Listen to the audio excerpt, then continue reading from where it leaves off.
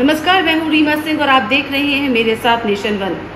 जरा सोचिए कि आप घर पर बैठे हैं और एकदम से धमाके की आवाज़ आती है, जिसकी वजह से आपके घर की जो शीशे होते हैं, वो चटकने लगते हैं ज़ोर ज़ोर से हिलने लगते हैं तो आप घबरा जाएँगे। लेकिन इसके पीछे की आखिर वजह क्या है? क्यों हुआ ऐसा और कहाँ हुआ? इसके लिए देखिए हमारी ये खास रिपोर्ट। देहरादून में अचानक अजीबो गरीब आवाज़ आती है और लोगों के घरों की खिड़कियाँ टूट जाती हैं। इस घटना के बाद शहर में लाखों लोग सहम कर घरों से बाहर आ जाते हैं। बाद में इसकी वजह पता चलती है। ये घटना सोनिक बूम की वजह से हुई थी।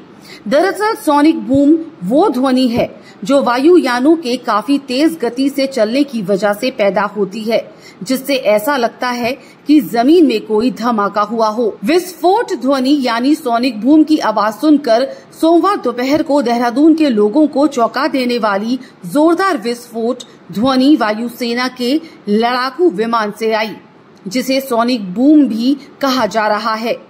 आपको बता दें कि वायुसेना अपने लड़ाकू विमानों और अन्य उपकरणों का परीक्षण करते हुए अपना गगन शक्ति अभ्यास कर रही थी, जिससे सोनिक बूम की आवाज़ निकली, जिससे धमाके जैसा फील हुआ और लोग आवाज़ सुनकर घबरा गए। आपको बता दें कि इससे पहले दोपहर डेढ़ बजे के आसपास विस्फोट जैसी आवाज़ ने देहरादून के निवासियों में दहशत पैदा कर दी। शहर की पुलिस ने कहा कि शहर के एक बड़े इलाके में जोरदार विस्फोट की आवाज़ सुनाई दी, जिससे घबराए निवासियों ने बड़ी संख्या में आसपास के पुलिस स्टेशनों को फ़ोन किया। राजधानी देहरादून के कई इलाकों से धमाकों की आवाज़ सुनाई देने से लोग सहम गए थे। एक के बाद एक देहरादून के कई क्षेत्रों में धमाकों की आवाज़ आने की खबर तेज़ी से फैली तो पुलिस प्रशासन भी अलर्ट हो गया। टीमें मौके के लिए रवाना हुई।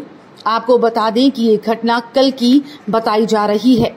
धमाकों की आवाज़ की खबर तेज़ी से फैलने पर एसएसपी अजय सिंह ने क्या कुछ कहा? चलिए सुनाते हैं आपको।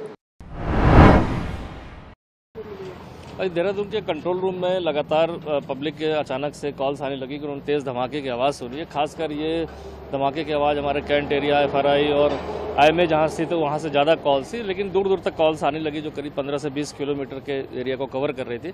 तत्काल संबंधित थाने चौकी और जो कॉलर्स थे, उनसे वेरीफाई भी किया गया। उनके द्वारा कहीं ज़मीनी स्तर पर कहीं कोई विस्फोट या ऐसी कोई हताहत होने की या कहीं कोई जानकारी नहीं मिली। लेकिन जब विस्तार से पूछताछ की गई कॉलर से भी और मौके पर आकर लोगों से तो पता चला कि हवा में कहीं द्वारा एक तेज साउंड की आवाज़ आई और जिससे उनके खिड़की दरवाजे हिल गए या कहीं बहुत ज़्यादा वॉइस से अभी तक जो भी वेरिफिकेशन हमने डिफरेंट एजेंसी से किया तो कहीं भी ग्राउंड लेवल पर कहीं भी कोई ऐसी घटना अभी प्रकाश में नहीं आई है। लेकिन जो अभी तक प्राथमिक दृष्टि से लगता है कि जब एयरफोर्स या ऐसे कोई एक्सरसाइज करती है तो जो सुपरसोनिक जो प्लेन होते हैं, जो सुपरसोनिक उसकी बूम की आवाज़ होती है, वो आवाज़ इतनी तेज होती है हवा में कि कभी कभी जो है इस तरह से सुनाई देती है। अभी लगातार एयरफोर्स के जो हमारे अधिकारी कंसर्न है, उनसे भी बात की गई है। वो भी इस चीज़ को वेरीफाई कर रहे हैं कि क्या इस एरिया में कोई ऐसी ड्रिल या कुछ देहरादून के ऊपर स्काई में कोई ऐसी ड्रिल उनके द्वारा की गई है। लेकिन अभी तक प्राथमिक रूप से ग्राउंड लेवल पर कहीं भी कोई ऐसी हता, ऐसी कोई सूचना नहीं प्राप्त हुई है। और साथ ही साथ प्रथम दृष्टि ये सुपरसोनिक बूम की आवाज़ लग रही है, जो एक नॉर्मल एयरफोर्स की जो एक्सरसाइज होती है, उसमें आती है, जो अभी तक हमें जानकारी मिल पाई है। Bureau report, nation one.